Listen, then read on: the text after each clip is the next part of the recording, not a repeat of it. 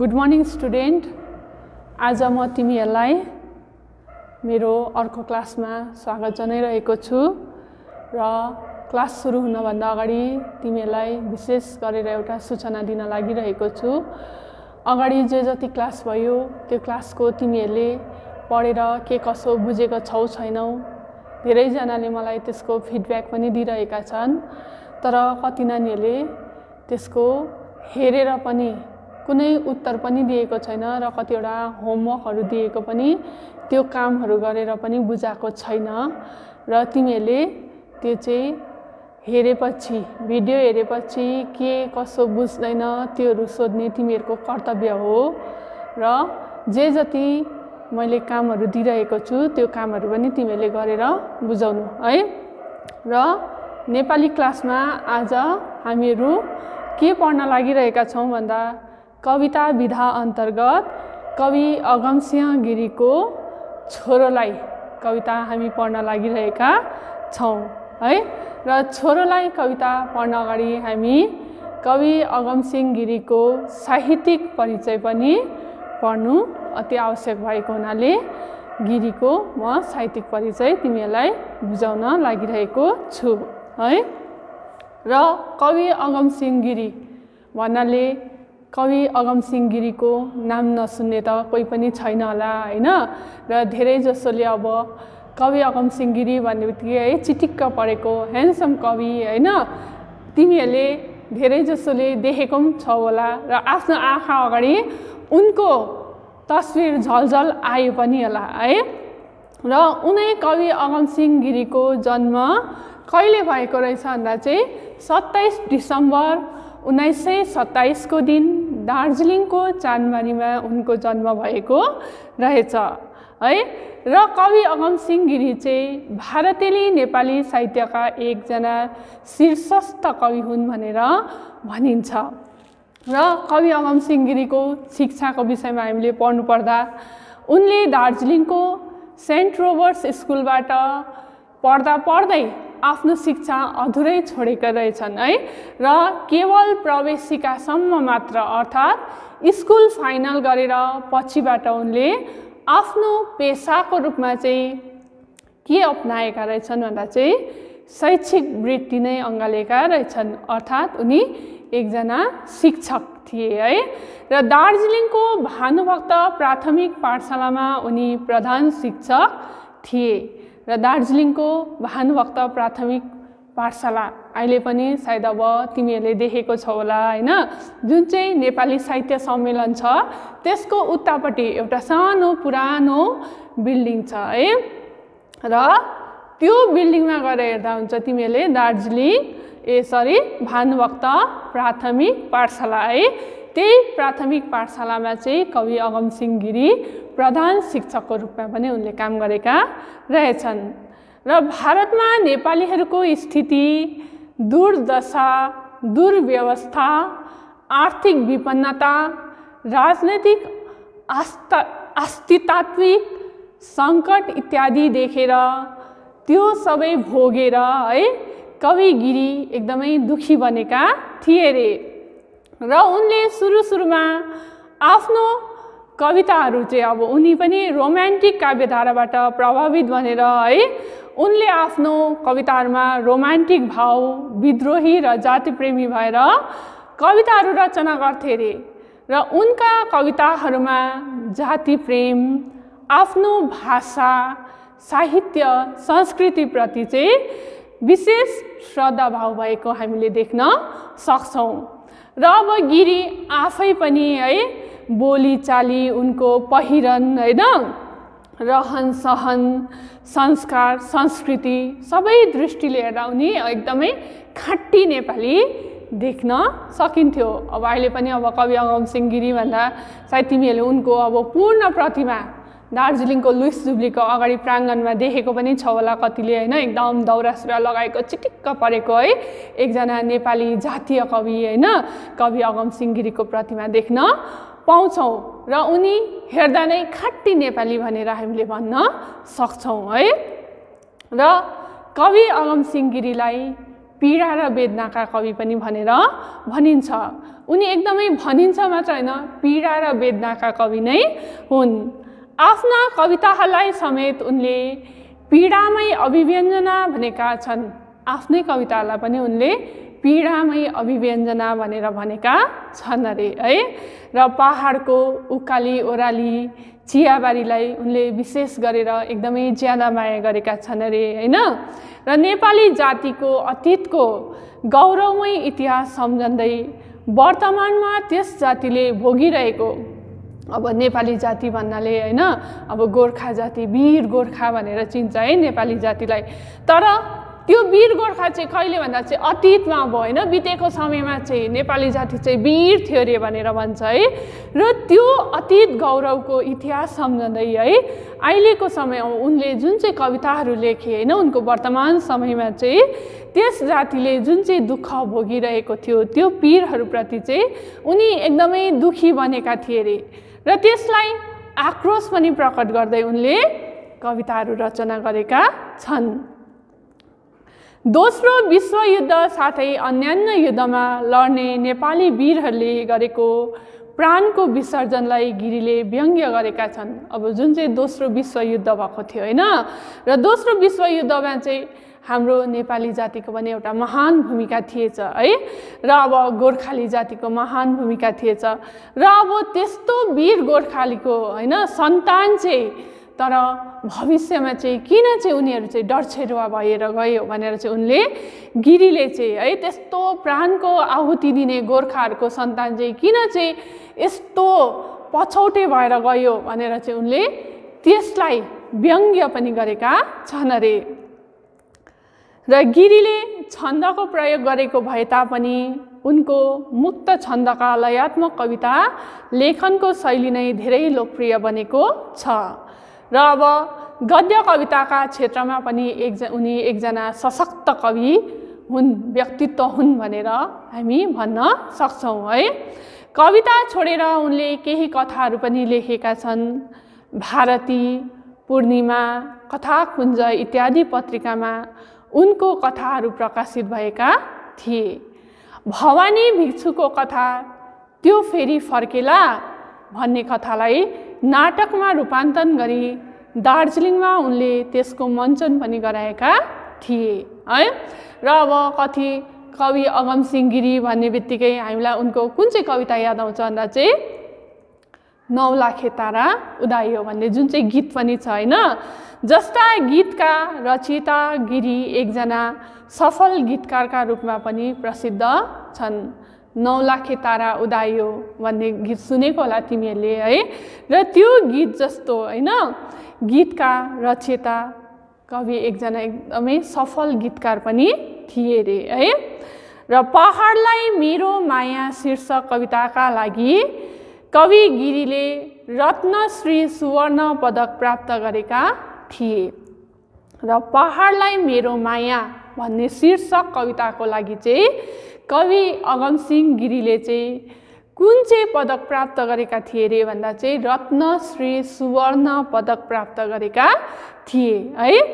जलेको प्रतिबिम्ब रोएको प्रतिध्वनि कविता सङ्ग्रहका लागि पश्चिम बङ्गाल सरकारको भानुभक्त पुरस्कारले उनलाई मरणोपरान्त सम्मानित गरिएको थियो। जुन चाहिँ मैले तिमीहरूको यहाँ उनको कृतिहरूमा लेखिदिएको छु यो जलेको प्रतिबिम्ब रोएको प्रतिध्वनि है जुन चाहिँ कविता सङ्ग्रह हो जुन चाहिँ सन् उन्नाइस सय अठहत्तर सालमा प्रकाशित भएको थियो है? र त्यो कविता सङ्ग्रहको लागि चाहिँ उनलाई चाहिँ पश्चिम बङ्गाल सरकारले चाहिँ भानुभक्त पुरस्कारले पनि सम्मान गरेको थियो अरे तर कहिले भन्दा चाहिँ उनको मृत्यु पश्चात है? र उनका प्रकाशित कृतिहरू कवि अगमसिंह गिरीका प्रकाशित कृतिहरू है? यहाँनिर छ याद आँसु युद्ध र योद्धा आत्मव्यथा है? जीवन गीत जलेको प्रतिबिम्ब रोएको प्रतिध्वनि है? र यस्ता थुप्रै थुप्रै कविताका धनी है? कवि अगमसिंह गिरीको मृत्यु चाहिँ कहिले भएको रहेछ भन्दा चाहिँ एकतिस जनवरी सन् उन्नाइस सय एकात्तर सालमा है? दार्जिलिङमा नै र सरस्वती पूजाको दिन होइन? केवल छोटो आयु लिएर आएका रहेछन्। चौवालिस वर्षको उमेरमा उनको मृत्यु भएको रहेछ। र उनै कवि अगमसिंह गिरीको हामीले पढ्नुपर्ने कविता छ छोरोलाई है? र छोरोलाई पढाउनु अगाडि म तिमीलाई एउटा सानो कुरा भन्छु। अघि जुन चाहिँ मैले उनको शैक्षिक परि साहित्यिक परिचय पढ्दै गर्दा मैले के बताएँ भन्दा चाहिँ कवि गिरीले होइन जुन चाहिँ दोस्रो विश्वयुद्धमा है गोर्खाले दिएको त्याग बलिदानको उनले व्यङ्ग्य गरेर कविताहरूको रचना गरेका छन् भनेर हामीले पढ्यौँ। र त्यही उनले यहाँनिर छोरोलाई है के आह्वान गरिरहेका छन्? उनले केवल आफ्नो छोरालाई आह्वान गरेको होइन यहाँनिर तर सम्पूर्ण नेपाली जातिको छोरालाई चाहिँ के आह्वान गरिरहेका छन् भन्दा चाहिँ छोरा भएर जन्मिएपछि चाहिँ छोरा चाहिँ के होस् अरे एकदम सिधा सोझो चाहिँ नहोस् अरे तर ढिट छुच्चा है आफ्नो जातिको लागि केही गर्न सक्ने छोरा भएर चाहिँ जन्म लियोस् भनेर चाहिँ उनले चाहिँ छोरोलाई चाहिँ अब के भन्ने आह्वान गरिरहेका रहेछन् त्यो तिमीहरूले अब यहाँ सुन है म बुझाउँछु तिमीहरूले बुझ्ने कोसिस गर्नु ल राम्रोसँग है। र अब कवि गिरीले यहाँ भनिरहेका छन् पहिलो पङ्क्तिमा है ए छोरो त त बनिदे यस जगवनको तिखर काँडा। अमृतको कन नबन नबन बनिदे। नासक विषको भाँडा। चोट पुर्याए बरु खोट लगा बनिदे पत्खै निर्मम सुल। निष्ठुर पदले कुल्चिन्छन् है नबन नबन त सुन्दर फुल। र अब कुनै पनि घरमा छोरा जन्मिएपछि है बाबुआमाले छोरालाई के शिक्षा दिन्छन् भन्दा बाहिर जानु बदमास नगर्नु होइन यस्तो काम नगर्नु यो नगर्नु भनेर राम्रो राम्रो शिक्षा दिन्छन् नि है। तर अब कविले पनि यहाँ राम्रो शिक्षा दिइरहेका छन्। सम्पूर्ण नेपाली छोरालाई तर त्यो शिक्षा चाहिँ के दिइरहेका छन् भन्दा चाहिँ ए छोरा तँ चाहिँ के बनिदिए अरे भन्दा चाहिँ यो जगवनको जुन चाहिँ यो संसार रूपी वन छ है त्यहाँको चाहिँ एउटा तिखो काँडा जसरी एउटा हेर है गुलाबको फुल सुन्दर फुलेको हुन्छ हुन्छ कि हुँदैन? र त्यो फुललाई कसैले आहा कति राम्रो फुल भनेर टक्कै जुटाउनु खोज्यो भने के हुन्छ भन्दा त्यो गुलाबको फुलको डाँठमा के हुन्छ भन्दा काँडा है? र त्यो काँडाले हामीलाई घोच्ने त्यो आथा भनेर हामीले हतार हतार हात पर सार्छौँ है? र यहाँ पनि कविले त्यही भनिरहेका छन्। र छोरा चाहिँ के भन्नु रे भन्दा चाहिँ यो संसारको चाहिँ एउटा तिखो काँडा बनेर चाहिँ निस्किनु अरे। र अमृतको कण चाहिँ कहिले पनि नबनिदिए अरे है? अब अमृत खाएपछि के हुन्छ भन्दा मान्छे अमर हुन्छ भन्छ होइन? अब अमृत भनेपछि चाहिँ अब जो पनि अब भाग्यमानीहरूले पाउँछ है? अब राम्रो काम गरेको छ भने चाहिँ अमृतको कन हुन्छ अरे होइन? तर यहाँ चाहिँ के गर्नु अरे भन्दा चाहिँ नाश गर्ने विषको भाँडा होइन? एउटा भाँडामा अलिकति विष छ अरे लागेको छ अरे त्यो हामीले केही खायो भने के हुन्छ? फुड पोइजन भएर जान्छ होइन? र त्यस्तै नाश गर्ने हामी चाहिँ विषको भाँडा बनिदिनु अरे है? र कविले भन्दैछन् चोट पुर्याए बरु खोट लगा बनिदे पत्कै निर्मम सुल। तँलाई कसैले एक थप्पड कुट्यो भने तँ सिधा भएर चाहिँ नबस। उल्टा तैँले पनि के गर अरे त्यसलाई पड्काउने काम गर होइन? त्यसलाई पनि उल्टा दाग बस्ने गरी कुटिदे अरे होइन? किन भन्दा चाहिँ एउटा सुन्दर फुल फुलेको छ अरे है? त्यो फुल बाटोमा झऱ्यो भने के गर्छ अरे भन्दा चाहिँ निष्ठुर पदले कुल्चेर जान्छ अरे कसैले पनि आहा फुल चाहिँ बाटोमा झरेछ यसलाई उठाएर राखिदिन्छु भनेर कसैले पनि भन्दैन अरे है। त्यही कारण चाहिँ तँ त्यो सुन्दर फुल जस्तो चाहिँ नबन भनेर कविले छोरालाई आह्वान गरिरहेका छन् है। र त्यसरी नै यहाँ दोस्रो पङ्क्तिमा भनिरहेका छन् नगला नजला मुट तह तेरो आँसु नबन यहाँ रोदनको। यहाँ हाँस्न नसिक त आँसु मिची तर बोली बनिदे क्रन्दनको। ए बाबु त यस युगको लाटो निर्धो दुब्लो अस्तित्व नबन। मुर्दा जस्तो यस्तो मान्छे कातर भिरु अस्तित्व नबन। र छोरालाई भनिरहेका छन् हे त कसले के गर्यो यो गर्यो मलाई त त्यसले कुट्यो थिचोमिचो गर्यो भनेर रोएर बस्ने काम चाहिँ नगर होइन? कसैले तँलाई ए तँ यो यस्तो राम्रो छस् भनेर हाँसेरै टाढिदिने काम पनि नगर। तर जसले अरूलाई अन्याय अत्याचार गरिरहेका छ है? जो बोल्न सकेको छैन लाटा सिधाहरू छ होइन? अब मान्छे भएर पनि केही गर्नु नसक्ने मानिसहरू भएर बाँचिरहेको छ। उनीहरूको निम्ति चाहिँ त्यो अघि आएर चाहिँ है आफ्नो शत्रुहरूलाई बरु युद्धको निम्ति हाँक दिएर आइज भनेर चाहिँ बोलाएर चाहिँ के गर्नु अरे त युद्धको निम्ति अघि बढ्ने मान्छे भएर निस्किदिए अरे।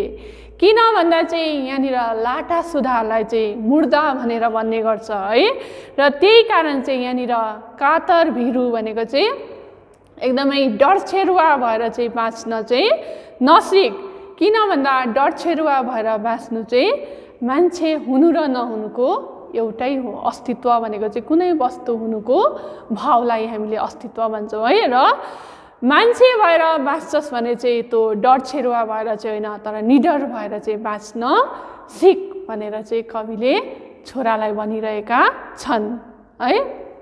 र त्यसरी नै तेस्रो पङ्क्तिमा कविले भनिरहेका छन् है? सहने सोझाहरूका सयन मुटुको बिज्ने सोला बनिदे। तिमिर विनाशक युगको झरिलो अग्निपुञ्जको गोला बनिदे। सल्केको त आग्ने गिरिवन ल्याई विद्युत गर्ज आँधी गर्जन।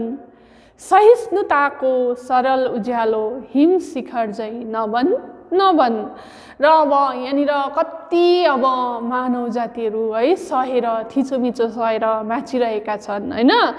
तर त्यो चाहिँ के गरिदिए भन्दा जसले सहेर बाँचिरहेका छन् बसिरहेका छन् उनीहरूको निम्ति चाहिँ त्यो एउटा सोला सोला भनेको चाहिँ आगोको गोला बनेर चाहिँ निक्लिदिनु अरे। आगो जस्तो भएर आइदिनु अरे है? र आगो भएर निस्क्यो भने चाहिँ के हुन्छ अरे भन्दा तिमिर विनाशक युगको भनेको चाहिँ तिमिर भन्नाले अन्ध्यारो होइन?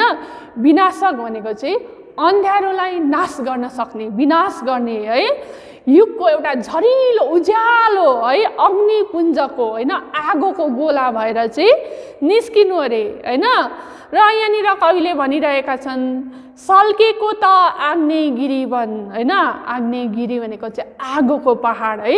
जसरी अब आगोको पहाड अब एकदम त्यहाँनिर झरी झरर बलिरहेको हुन्छ त्यसको छेउमा जानमा पोलेर बदबत हुन्छ है? त्यस्तै के हुनु अरे? आग्नेयगिरी जस्तो बनिदिनु अरे।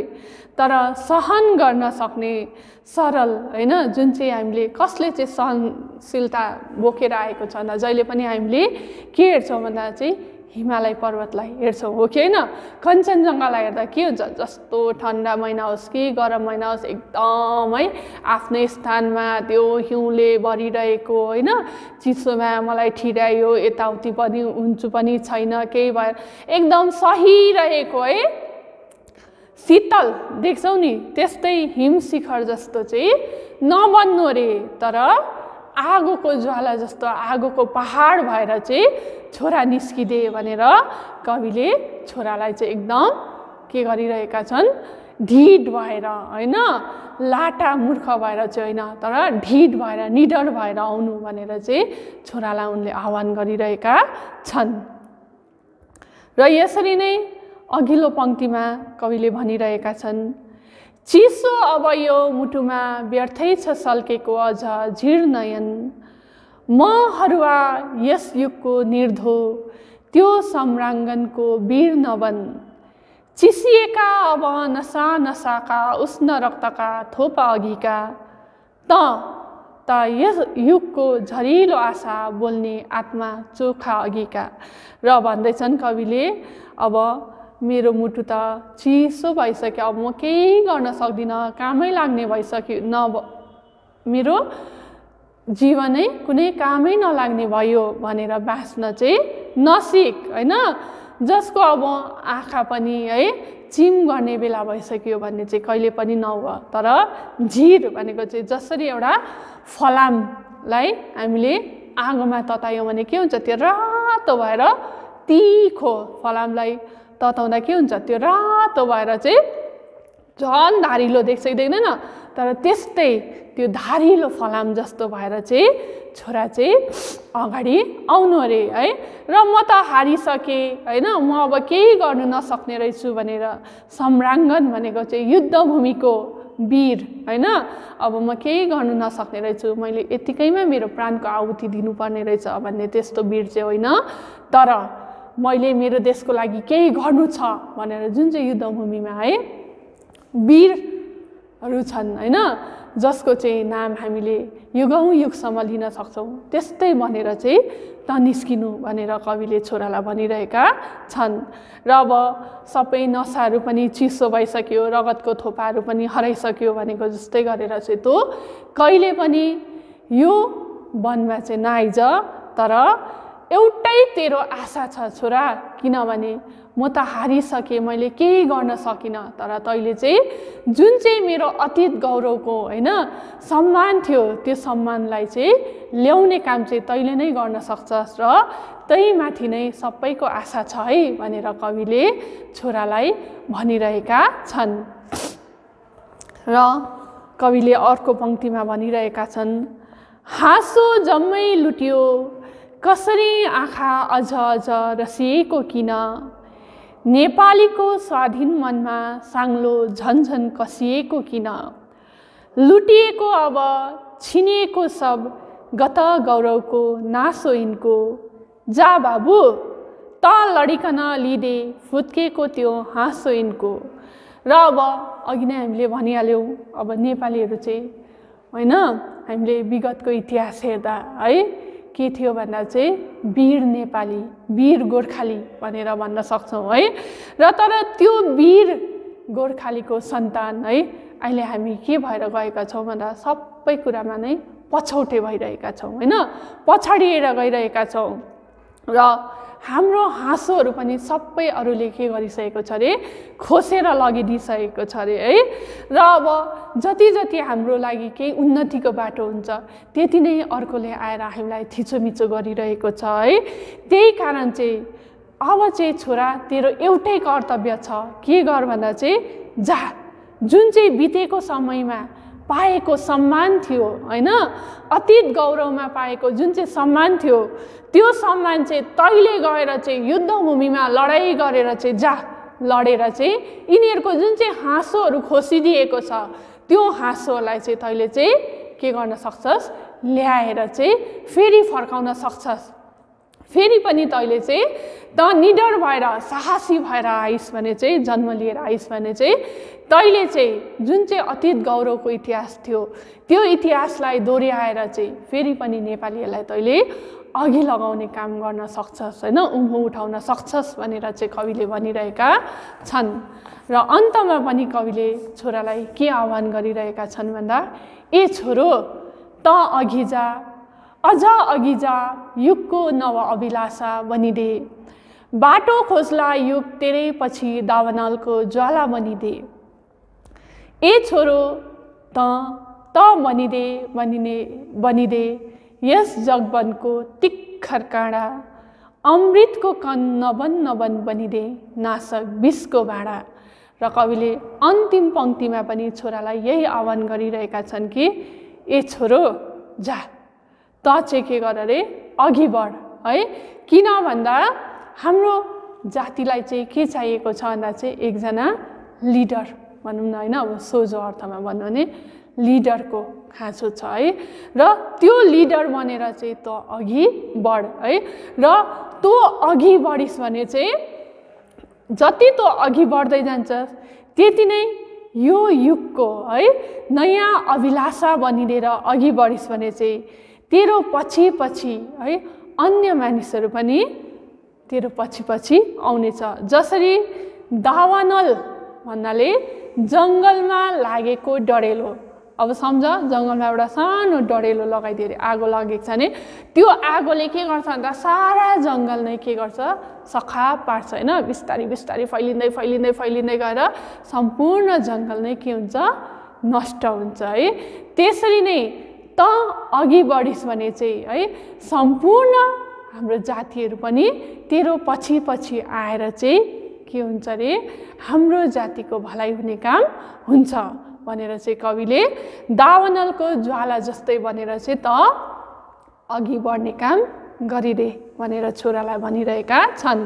र त्यसरी नै भन्दैछन् ए छोरो तह तह बनिदे यस जन जगवनको तिखर काँडा अमृतको कन नबन नबन बनिदे नाशक विषको भाँडा।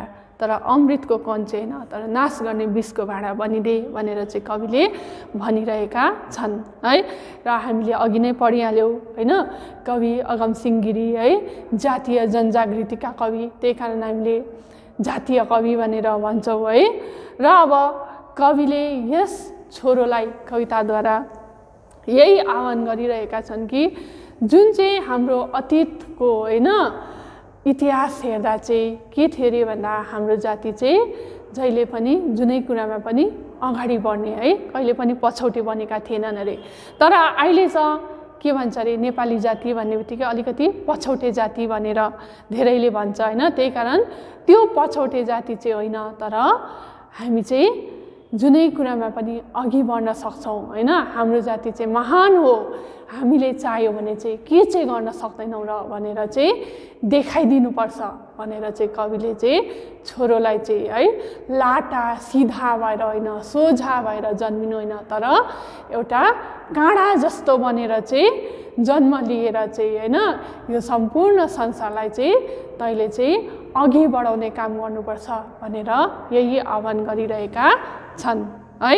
र धेरैले अब बुझ्यो होला। यो भिडियोमा मात्रै नहेरेर तिमीहरूले किताब पनि पल्टाएर हेर्नु है? र के गर्नु भन्दा चाहिँ जब तिमीहरूले यो युट्युबमा भिडियो हेर्छौ त्यति बेला सबैले किताबहरू त पाइसकेको छ होइन? र किताब पनि खोलेर तिमीहरूले युट्युब सुन्नाले तिमीलाई अझै सुविधा हुन्छ। सजिलोसँग मजाले बुझ्छ। तिमीहरूले होइन? र सायद तिमीहरूलाई लु अझै पनि म सुविधाको लागि भनिदिँदैछु। छोरोलाई कविता है तिमीहरूको यही नेपाली बोर्डको किताबको पेज नम्बर फिफ्टी र फिफ्टी वानमा छ है? त्यो खोल्नु र मैले बुझाएकोबाट तिमीहरूले बुझ्नु। अनि अर्को काम के गर्नु भन्दा प्रिभियस क्वेसन्सहरू तिमीहरूले छ होला गाउँघरतिर कतिजना साथीभाइहरू त छ होला र उनीहरूलाई मागेर हुन्छ कि साथीहरूसँग एकअर्कासँग सम्पर्क गरेर है प्रिभियस क्वेसन्सहरू पनि हेरेर कतिवटा क्वेसन एन्सरहरू त्यसबाट दिएको छ त्योहरू गरेर तिमीहरूले मलाई मेरो पर्सनल वाट्सएपमा पठाउँदा हुन्छ। ल र आजको क्लास यतिमा नै अन्त भयो। अब फेरि हामी नेक्स्ट क्लासमा भेट गर्नेछौँ। Thank you